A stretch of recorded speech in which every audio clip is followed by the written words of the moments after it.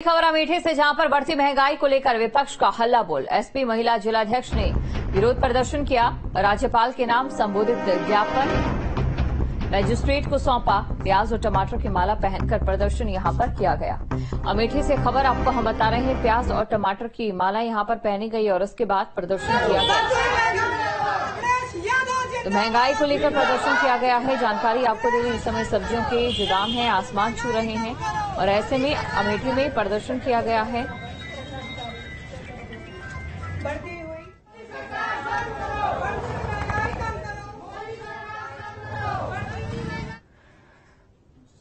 और आगरा में कांग्रेस का हल्ला बोल जहाँ पर जन समस्याओं को लेकर कांग्रेस ने मोर्चा खोल दिया। नगर निगम अधिकारियों के खिलाफ पैदल मार्च भी किया गया।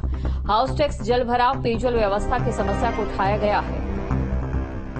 ये बड़ी खबर आपको हम बता रहे हैं जहाँ पर जन समस्याओं को लेकर हल्ला बोला गया है। ये तस्वीर भी आप देख सकते हैं। तो आगरा में कांग्रेस का यह हल्ला बोल जन समस्याओं को लेकर कांग्रेस ने मोर्चा खोला। नगर निगम अधिकारियों के खिलाफ पैदल मार्च किया, हाउस टैक्स, जल भराव, पेयजल व्यवस्था की समस्या को उठाया गया है और इसी के साथ यहाँ पर हल्ला बोलते दिखाई दिए कांग्रेस कार्यकर्ता और नेता।